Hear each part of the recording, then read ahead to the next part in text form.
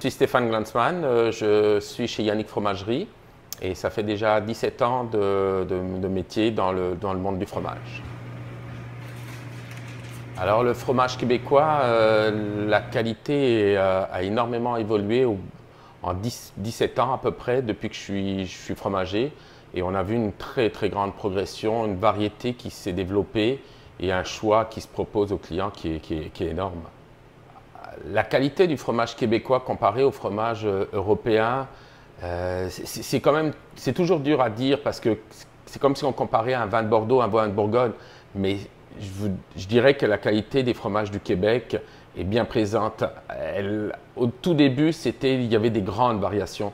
Maintenant, ces variations ont énormément diminué et la qualité, je dirais, d'un mois à l'autre, d'une année à l'autre, est stable. Le fromage est, beau et, et on arrive à avoir des fromages constants de qualité parfaite.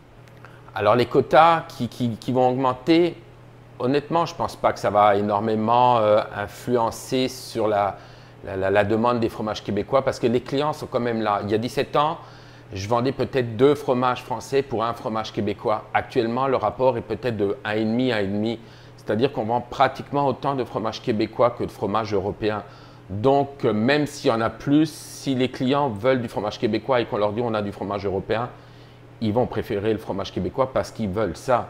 Donc, euh, si, si, si, le client décide qu'il veut continuer dans le fromage québécois, même si on multiplie par deux euh, la, rentrée des fromages d'Europe, je pense que les fromages québécois peuvent bien s'en tirer.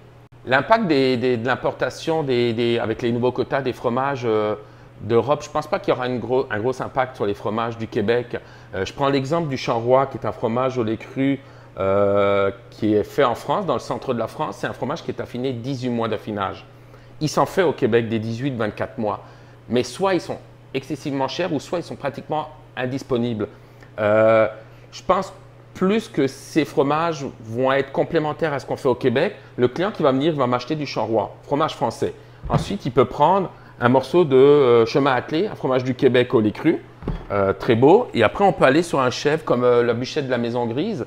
Et sur trois fromages, qui est en moyenne ce que les clients achètent dans une commande, ben, il y a un français, deux québécois. Et pourtant, plus de fromages seront rentrés. Mais je ne pense pas qu'il y aura un impact. C'est juste qu'il y aura un choix supplémentaire et complémentaire à ce qu'on ne trouve pas ici.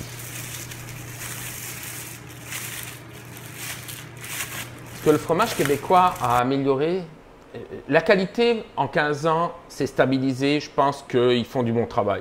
C'est peut-être juste un peu encore sur le prix parce que euh, les clients ont des fois du mal à comprendre comment un fromage français importé, transport est au même prix qu'un fromage québécois produit sur place. Donc une meilleure peut-être structure, une plus grosse production de certains fromages ferait en sorte de faire baisser les prix.